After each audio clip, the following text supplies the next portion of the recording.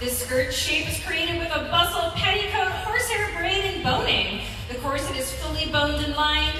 The shirt was hand drafted, styling faux fur, as well as painting and weathering fabric foam pieces are made with self-drafted patterns with the X project and wants to learn in new and creative ways.